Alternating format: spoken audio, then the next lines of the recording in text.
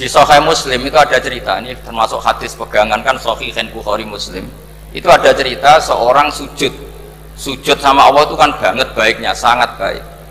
Kemudian yang sujud ini diinjek oleh pemuda yang nakal. Diinjek. Ketika diinjek yang sujud spontan ngomong begini. Fawallahi la yaghfiru laka demi Allah Allah tidak akan maafkan kamu di luar dugaan tentu kalau nggak ada sanat omongan ini normal karena nginjek orang apa? Sujud. Tapi di luar dugaan Allah mewahyukan ke Nabi di zaman itu disuruh bilang sama orang yang sujud itu Allah ngendikan manggalladzi yata'alla alayya alla aghfira li fulan faqad ghafartu lahu wa ahbattu amala.